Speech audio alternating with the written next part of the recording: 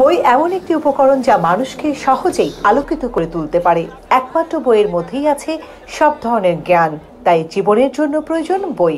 প্রতি বছর বইপ্রেমী মানুষ অপেক্ষায় থাকেন বই মেলার জন্য। আজ বই মেলার শেষ সময় পাঠকরা বই নিয়ে কি বলছেন, তাই জানব। বইমেলার আজকেই শেষ দিন। আমরা খুবই মিস করব এই বইমেলাকে এবং একটি বছর আমাদেরকে অপেক্ষায় থাকতে হবে। আবারও বাঙালির এই প্রাণের মেলা উৎসব। এবং আমরা আশা করছি যে আগামী বছর আরও সুন্দর সুন্দর বই আসবে। প্রতি বছর যে আমাদের এই বইয়ের মেলা হয়ে থাকে এই প্রতি এই ফেব্রুয়ারি মাসটাতে এতে আমাদের সব সকলেরই বইয়ের প্রতি বই পড়ার অনুপ্রেরণা জাগে। তো আমরা এই জন্য খুবই খারাপ লাগতেছে যে আজকে বইয়ের মেলাটা শেষ হয়ে যাচ্ছে।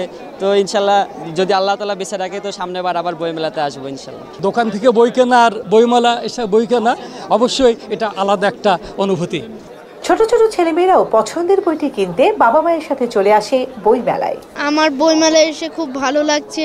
আমি এখানে সুকুমার রায়ের বই কিনেছি বঙ্গবন্ধু সম্পর্কিত বই কিনেছি কবিতার বই কিনেছি সহ বিভিন্ন ধরনের বই কিনেছি। আমার প্রিন্সেসের বই কিনতে ভালো লাগে ভূতের বই কিনতে ভালো লাগে।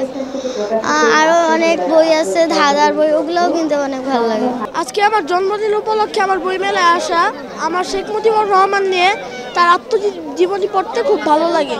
আমার বই পড়তে খুব ইচ্ছা এবং তার কয়েকটা বই কিনতে আমার বইমেলায় আসা।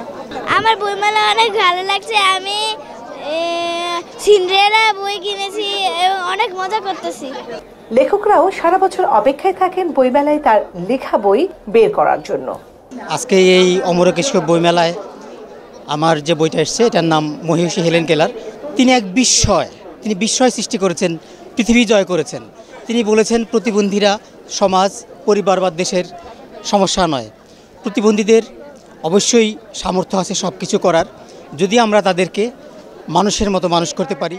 আমাদের বাঙালি জাতি নিজেদের অর্জন সম্বন্ধে যতটা জানি আমাদের ব্যর্থতা সম্বন্ধে অতটা জানি না। বুঝতেই পারি না এটা যে আমাদের ব্যর্থতা। এখনও যে আমরা দরিদ্রতম জাতিগুলির মধ্যে একটা রয়েছি, সেটা তো আমাদের মস্ত বড় ব্যর্থতা। এগুলি ব্যর্থতাটাকে বেশি জোরে তুলে ধরতে হবে। আর আমি দেখেছি অনেক অর্জন, যে আমাদের অর্জন সেটা আমরা বুঝতে পারি না। অতএব সেগুলিও তুলে ধরতে হবে। এবং এইগুলি তুলে ধরার জন্যই আমি লিখতাম টিখতাম বেশ কয়েকটা লেখা যখন একাত্র হয়ে গেল তখন সেইগুলি মিলিয়ে একটা বই করে ফেলেছিলাম। এই বইয়ের মধ্যে মূলত ছোট ছোট গল্প আছে। প্রথম দিকে সব জীবনবোধ এবং সামাজিক গল্প এগুলো আমাদের সামাজিক ব্যাধির কিছু ব্যাধি খুব সুপ্তভাবে তুলে ধরা হয়েছে।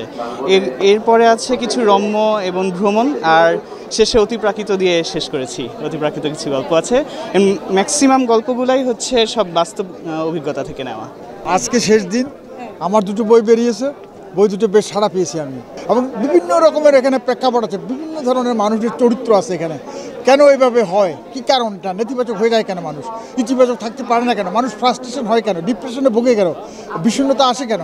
এই সমস্ত নানা দিক নিয়ে আমি এখানে এক্সপ্রেশন করছি এবং মহামানবদের কথাগুলো নিয়েছি মহামানবের দেশে গল্পটি থেকে এই দশটি কাহিনীচিত্রের উপর বইটি করেছেন শুদ্ধ প্রকাশ।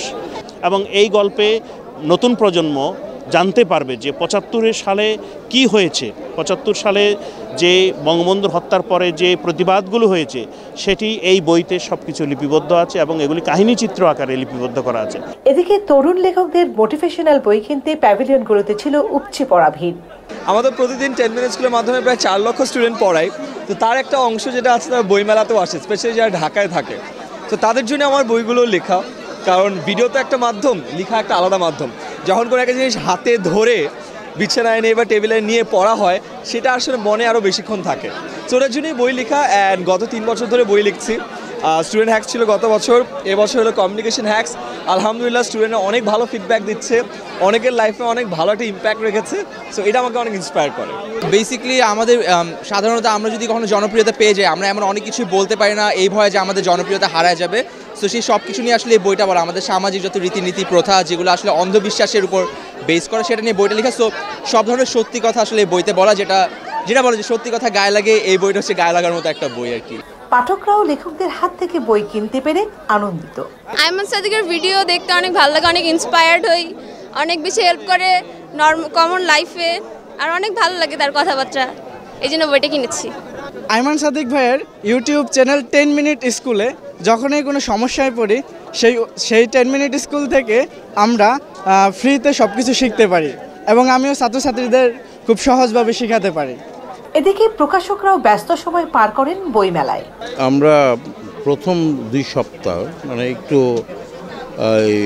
বিচলিত ছিলাম যে কি ব্যাপার পাঠকরা আসছে না না কি বই পছন্দ করছে না কিন্তু দ্বিতীয় সপ্তাহ পর থেকে মনে হচ্ছে যে না, পাঠকরা তারপর লাস্টে এটা আমরা বুঝতে পারলাম যে আমাদের পাঠকরা আসলে জেনে গেছে যে আমরা পনেরো ষোলো তারিখ পর্যন্ত বই বের করতেই থাকি।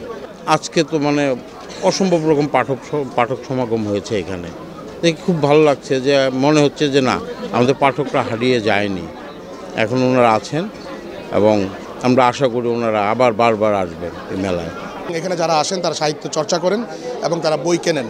আমি মনে করি যে দিনের একটা প্রান্ত পর্যন্ত মানুষ এখানে ঘুরতে আসে, কিন্তু সন্ধ্যার পরে মানুষ যখন বাসায় ফিরে যায়, তারা প্রত্যেকের হাতে আমি একটি বইয়ের ব্যাগ দেখতে পাই এবং এইটি আমাদের প্রত্যেকটা প্রকাশকের জন্য অনেক বেশি আনন্দ আনন্দজনক এবং আমি মনে করি যে যা বই কিনে কেউ দেউলিয়া হয় না একটা কথা আছে।